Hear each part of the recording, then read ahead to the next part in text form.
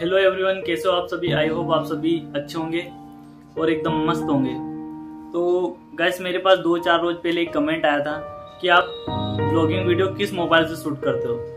तो मैं बता दूँ, मैं blogging video Oppo Reno six से करता हूँ, जो कि अभी हाल ही में लॉन्च हुआ था तीन से चार मंथ पहले। लेकिन एक बात बता दूँ, अगर आप ब्लॉगिंग वीडियो शूट कर रहे हो तो आपके आपके पास क्या क्या होना ज़रूरी है? तो मैं बता देता हूँ, आपके लिए, आपके पास पहले तो एक मोबाइल होना चाहिए। मोबाइल वो भी अच्छा एंड्रॉयड होना चाहिए, जिसमें अच्छे फीचर हो। कैमरा लगभग 12 से 16 मेगापिक्सल कैमरा तो होना ही चाहिए। ब्लॉगिंग वीडियो शूट करना है तो।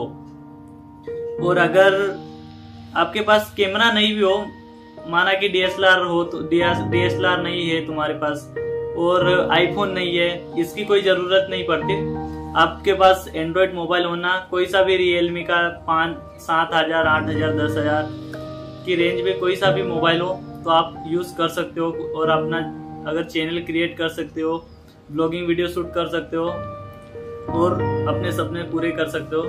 तो मेरे पास कमेंट आया था कि तुम कौन सा मोबाइल यूज़ करते हो? तो मैं बता देता हूँ, मैं ओप्पो रेनो सिक्स यूज़ करता हूँ और मैंने अभी दो से तीन मंथ पहले ही लिया है।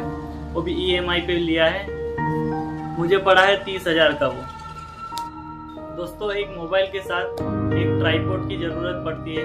ब्लॉगिंग वीडियो खासकर जो ब्लॉगिंग वीडियो बनाते हैं, उसके लिए उनको तो बहुत ही ज़रूरत पड़ती है।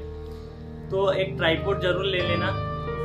मार्केट से मिल जाएगा, दो सौ, डेढ़ सौ, तीन सौ रुपये तक मिल जाएगा।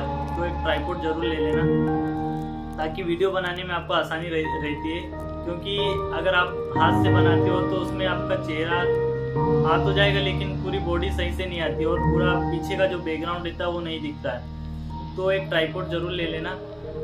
तो उससे आपका वीडियो थोड़ा अट्रेक्टिव लगेगा पीछे का बैकग्राउंड भी अच्छा लगेगा बस इतना ही दोस्तों। मिलते हैं नेक्स्ट वीडियो में। तब तक के लिए बाय बाय और नेक्स्ट वीडियो आपको किस टॉपिक पे चाहिए मुझे ज़रूर बताना।